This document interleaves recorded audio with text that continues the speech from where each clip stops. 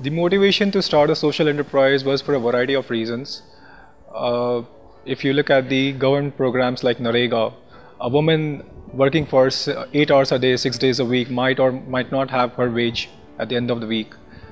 If you look at the health programs, the child infant mortality and uh, and maternal postpartum morbidity has been very high because of the lack of advanced technology products with the village health nurses. So what we did was we created advanced technology products and innovative business models to address these issues. BeWo stands for Better World. It was incubated at Qualcomm. Uh, the idea was to address people at the bottom of the pyramid using advanced technology products and innovative business models.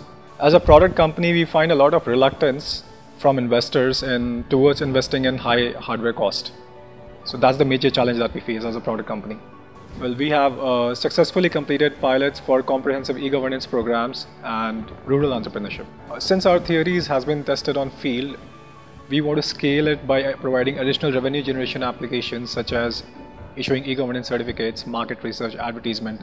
So thus our total business model is scalable for the system integrators uh, who are experts in their own domains.